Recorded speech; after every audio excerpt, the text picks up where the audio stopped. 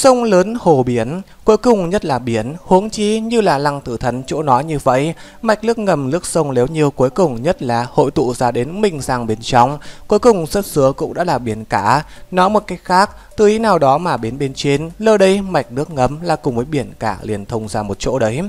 Thân là hải thần chi tử, nhất là trên người còn mang theo hải thần tam do kích, đường phụ lân như thế nào lo lắng sông nước này sẽ mang đến cho chính mình phiền toái gì. Đối với đại đa số người mà nói, tại trong nước sông, tinh thần lực lượng cảm giác khoảng cách sẽ giảm xuống rất nhiều, nhưng hắn vẫn chính trái lại. Phàm là có nước địa phương, cảm giác của hắn liền sẽ gấp bao nhiêu lần tăng cường, có thể hướng chỗ xa xa hơn gió xét ra. Cuối cùng đang tiếp tục về phía trước nghìn mét tả hữu, đường Phụ Lân dừng bước, đồng thời ở trên mặt toát ra vẻ chợt hiểu. Thì ra là vậy, có phát hiện gì sao? Bên cạnh Nguyên Nhân Dạo Hủy nói. Đường Phụ Lân mỉm cười. Ta biết rõ bọn hắn cái này tầng thứ 16 khảo nghiệm là cái gì rồi. Các người hiện tại cảm giác không thấy. Bởi vì chúng ta không có ở trong nước sông. Trên thực tế nước sông từ vừa rồi bắt đầu cũng đã có vô hình lực lượng hút rồi. Nếu như chúng ta là tại ở trong nước sống rất có thể sẽ cho rằng đây là bình thường mạch nước ngầm nước sông tốc độ chảy. Hơn nữa tốc độ chảy này càng nhanh, chúng ta bơi lội đi về phía trước tốc độ cũng sẽ càng nhanh. Cho dù là phong hào đấu lá đều muốn lặn xuống nước đến nơi đấy cũng cần một đoạn không ngắn ngủi thời gian. Bản thân có một chỗ tiêu hao, tự nhiên luôn nóng đi về phía trước. Thế nhưng mà nếu như bọn hắn thật sự theo nước sông nhanh chóng đi về phía trước như vậy rất nhanh liền sẽ gặp phải phiền toái, bởi vì ở phía trước nước sông tốc độ chảy sẽ càng lúc càng nhanh, cuối cùng ước chừng là tại 2.000m bên ngoài, có một cái cực lớn hố sâu, cái này hố sâu như thế nào hình thành ta cũng không biết, rất có thể là một loái cực kỳ lớn dưới mặt đất con suối, chỗ đó nước chảy cực kỳ chảy xiết, hơn nữa tạo thành ra cực lớn vòng xoáy, một khi người bị cuốn vào trong đó, muốn tránh thoát không phải là một kiện dễ dàng sự tính mà tại dãy dụ ở trong quá trình, ở trong cơ thể dưỡng khí không thể nào nghi ngờ sẽ đại lượng tiêu hao, phiền toái cũng liền đã đến. Trong qua là ta không biết chiến thần điện sẽ dùng biện pháp gì giữ lại tình huống này đem người ta cứu đi xa. Hai đường đấu là nhắc nhở không sai, lời này thật sự là 10 phần hung hiểm. Nghe đường Vũ Lân vừa nói như vậy, tất cả mọi người không khỏi hít sâu một hơi. Cá nhân thực lực lại mạnh mẽ, chỉ cần không phải là thần, liền không có khả năng cũng đã là cải thiên nhiên đối kháng, bọn hắn cũng đồng dạng không được. Như vậy một cái căn bản không có biện pháp hơi thở dưới nước ngầm thế giới. Nếu như thật sự gặp phải đến cái loại này nhân lực lượng không cách nào chống lại vòng xoáy, để muốn từ vòng xoáy lao xa khói dễ vậy sao? Nhất là tại trải qua phía trước tiêu hào về sau, để muốn đi qua cửa ải này, chỉ sợ thật sự là phải có một ít đặc thù mới có thể. Hơn nữa còn cần mà nhanh chóng xuất hiện ra không đúng mới có thể.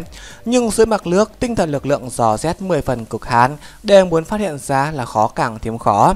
A à, như Hằng lúc này hai mắt híp lại, cái này làm sao nhìn, sợ là chúng ta 8 người đều như vậy thật sự là trực tiếp tiến lên, có thể có 3 4 lên bờ cũng không tệ rồi. Đối mặt với loại này khảo nghiệm, Cường công hạ chiến hồn xưa khả năng thông qua tình lớn nhất, đường Vũ Lân cùng với A như hàng nhất định là không có vấn đề gì. Mấy người khác bên trong, từ mãi kim chỉ cùng với nguyên lần dạ húy, hẳn là cũng có khả năng. Nhưng mà hứa tiểu ngôn cái này dưới tình huống khống chế đệ nhất cường khống, nếu như không phải ai hỗ trợ, không thể nghi ngờ là không có biện pháp lao ra.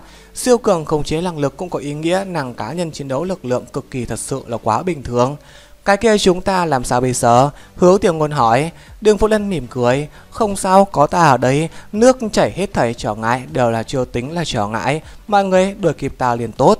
Đã xác minh tình huống ở phía dưới, hắn tự nhiên cũng liền buông lỏng ra rất nhiều, tăng thêm tốc độ kéo dài đi về phía trước. Quả nhiên thì rất nhanh mọi người liền phát hiện ra không đúng.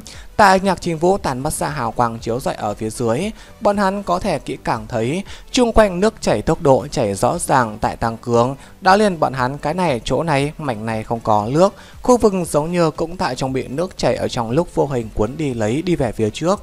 Chỉ có đường phụ lân dừng bước tại thời điểm mới có thể dừng lại. Hào quang thấu hướng phương xa, tầm nhìn đột nhiên giảm xuống. Quả nhiên thì là đến cánh cửa xa, chỉ có điều tại cái cửa sang ở bên ngoài là một cái cực kỳ lớn dưới nước vòng xoáy. Trước mặt mọi người bắt đầu cảm nhận được vòng xoáy cường độ lúc đó, sắc mặt cũng không khỏi khẽ biến, bởi vì bọn hắn ở trong tay đồng thời truyền đến trầm thấp tiếng lổ vang. Cái kia nước chảy đụng vào trong vách đá bên trên xuất hiện ra âm thanh, thật là khủng khiếp nước chảy. Lăng Tử Thần đột nhiên nói ra, thoạt nhìn thì lúc trước đem chúng ta hấp xả đi xuống lực lượng cũng đã là nguồn gốc từ trong tại cái này vòng xoáy. Lờ đây hẳn là tự nhiên hình thành cảnh tướng, nhân lực là không thể nào làm được. Chiến thần điện chính là lợi dụng phần này thiên nhiên lực lượng. Mọi người theo sát ta Vừa nói đường Vũ Lân ở trên người phóng xuất ra từng đám cây làm quân hoàng dây leo Quân lấy tại đồng bạn trên người Đưa bọn chúng kéo lê tới gần tại bên cạnh mình ngay sau đó, trên trán cổ hắn, Hoàng Kim Tam Sáu Kinh phủ văn sáng lên, Hoàng Kim Long Thương xào cho tay trái, tay phải hư không vừa đảo, kim quang lập lòe, Hoàng Kim Tam Sáu Kích đã rơi vào trong hắn trong lòng bàn tay liền tại Hoàng Kim Tam xóa kinh xuất hiện ra ở trong nháy mắt đó, chung quanh đột nhiên trở lên hoàn toàn yên tĩnh. Lúc trước tất cả nước Nước chảy chấn động, tại thời khắc này giống như tất cả đều biến mất, cuồng bạo vòng xoáy bị cảm hóa, xoay tròn tốc độ đột nhiên giảm xuống, giống như là tại hướng lấy đường phụ lân thần phục ra như vậy.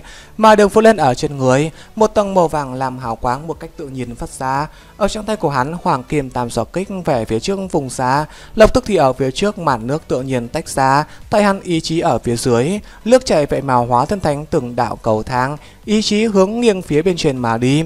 Đường phụ lân đi đấu thì đi tuốt ở đằng trước, dẫm đạp ra tại cái kiềng nước chảy hình thành ra ở trên cầu thang hướng về vào phía trước. Những người khác nhìn thấy như thế kỳ dị cảnh tượng tuy rằng kinh ngạc, nhưng mà thực sự không có lừa điểm gió dữ vội vàng đuổi kịp. Đi vào vòng xoáy, bọn hắn mới cảm giác có thể cảm nhận được cái vòng xoáy đáng sợ. Toàn bộ vòng xoáy đường kính chỉ sợ chừng nghìn mét có hơn. Ở chỗ này bọn hắn không có phát hiện ra bất luận cái gì sinh mệnh dấu hiệu. Trên thực tế, chỉ sợ cũng không có bất kỳ sinh mệnh năng lượng nào đủ ở cái địa phương này còn sống sót. Thế nhưng mà vô luận cái này thế giới dưới lòng đất kinh khủng đến cỡ nào, cầm trong tay hoàng kim tam so kích, đường phụ lân lại giống như là cái thế giới này là chúa tể. liền như vậy trước một bước hướng ra nghinh phía trên mà đi, từng bước một lở rộ dạ bản thân quang huy. Tất cả chảy xiết nước chảy, giống như là tại bảo vệ xung quanh lấy bọn hắn, quân vương giống như vậy, quỳ bà lấy hộ tống bọn hắn đi về phía trước, đã đi hiểu rõ trăm cấp bậc thắng cuối cùng ở phía trước mặt nước vỡ xa, lương tựa theo lấy ánh sáng sáng ngời, mặt nước tách ra lộ ra một cái đi thông qua bên ngoài thế giới thông đạo. Đường Phổ Lân đạp sóng mà đi, trong tay Hoàng Kiềm Tam Giáo Kích thu hồi, chung quanh mặt nước đang nhận được giá hải thần uy lực còn lại ảnh hưởng, cuối cùng cũng không có tiếp theo khép kín, mặc kệ hắn cùng với đồng bạn đi ra vòng xoáy, nhảy lên trên bay lên, lơ lửng tại không trung bên trong. Đường Phổ Lân hướng chung quanh nhìn lại, những người khác cũng đều cũng ở phía sau hắn lao ra mặt nước, ngóng nhìn bốn phía, từ bọn hắn ở chỗ địa phương nhìn lại, giữa chân chính là một mảnh cực kỳ lớn ao hồ, chỉ có điều ao hồ này nhiều trước lại hiện lên trên cái phễu hình sáng khủng bố vòng xoáy. Đáng sợ hơn chính là bởi vì hồ nước xoay tròn, cuốn đi khí lưu, ở chỗ này không đứt truyền đến chói tai kiều to âm thanh. Thiên nhiên phủ hủy thần công, thường thường thì không cách nào tưởng tượng đấy, không thể nghi ngờ nơi này chính là như thế một chỗ, xa xa bên cạnh bờ, cuối cùng có một khối bằng phẳng mặt đất mà cũng có ở chỗ đó có duy nhất một cái thông đạo tồn tại. Mọi người phi thân mà đi rơi trên mặt đất khi mà bọn hắn chân đi trên mặt đất bằng thời điểm Cũng không khỏi nhẹ nhàng thở ra. Phía trước là một mảnh đen kìn cực lớn vòng xoáy Cho dù ở trong mọi người rất nhiều đều là phong hào đấu la cấp độ tù vi. Nhìn xem cái này cực kỳ lớn vòng xoáy cũng đã không khỏi sẽ sinh ra mãnh liệt tìm đập nhanh cảm giác. Quang mang nhàn nhạt, nhạt lập lòe, Đường Vô Lân ở trên mặt toát ra một tia lạnh như băng hàn ý, thật không hổ là tầng thứ 16 địa ngục, quả nhiên không phải thường nhân có khả năng thông qua. Chẳng qua là không biết tiếp theo còn có như thế nào cửa hải khó cũng đợi đợi bọn hắn. Không có lóng lòng đi về phía trước, Đường Phụ Lân trước tiên khoanh chân ngồi xuống, mọi người cũng đều ở bên cạnh hắn ngồi vây quanh phì xuống. Trước đại chiến hơn nữa đổ nước đối với bọn họ mà nói đều nhất định tiêu hao. Tầng 16 cũng đã là như vậy. Như vậy tầng 17, 18 tầng lại sẽ như thế nào cảnh tượng? Chỉ có bảo trì trạng thái tốt nhất đi đối mặt với mới là tốt nhất lựa chọn. Trọn vẹn sau lửa giờ, mọi người trước sau tử minh tưởng ở trong trạng thái khôi phục lại. Trước mặt cho bọn hắn đấy, chỉ có một cái thông đạo, không thể nghi ngờ, đi thông con đường tiếp theo liền cần từ trong cái thông đạo này đi về phía trước mới có thể. Như trước bảo trì lúc trước trận hình, đường phụ lân nguyên nhân xạo Huy cùng với nhạc chính vũ đi tuốt ở đằng trước, những người khác theo sát ở phía sau, mọi người tiến vào trong thông đạo bên trong. Cùng với lúc trước hạ xuống so với, trước mắt cái thông đạo này liền lộ ra ôn hóa, mặt đất bằng phẳng có nhân tạo mở dấu vết, chung quanh hết thảy nhìn qua cũng không có cái gì không bình thường địa phương, dường như chính là rất tự nhiên một cái dưới mặt đất thông đạo, chỉ có điều tất cả ánh sáng đều muốn dựa vào trong nhạc chính vũ trên người phóng thích ra thần thánh hào quang đến chiếu rọi, nếu không thì chính là một cái màu đen kịt, đưa tay không thấy đường nằm ngón.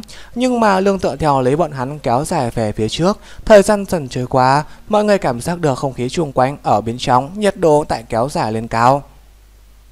Đường Vũ Lân hai mắt híp lại, lúc trước là nước, chẳng lẽ cái này thứ bảy tăng lên trên biến thành lửa sao? Ở phía trước dần dần có hào quang xuất hiện, vừa mới bắt đầu thời điểm đó là một điểm màu đỏ sẫm mà lương tựa theo lấy nhiệt độ kéo dài tăng lên, màu đỏ sẫm dần dần trở lên sáng lên, đem chung quanh đều chiếu xỏa ra thành một mảnh màu đỏ. Hơn nữa mọi người chung quanh thân thể nhiệt độ cũng đang tại kịch liệt gia tăng lấy, làm cho bọn hắn không thể nào không phóng thích ra hồn lực đến đối kháng nhiệt độ cao. Cuối cùng đã tới cuối cùng lối đi, lúc mà bọn hắn lúc này đến nơi đây lại bị trước mắt một màn rung động. Cuối thông đạo là một mảnh cực kỳ lớn hỏa hồng sắc thế giới, nơi đây cũng là một cái hồ, chỉ có điều cái hồ này là do nham thạch nóng chảy hình thành.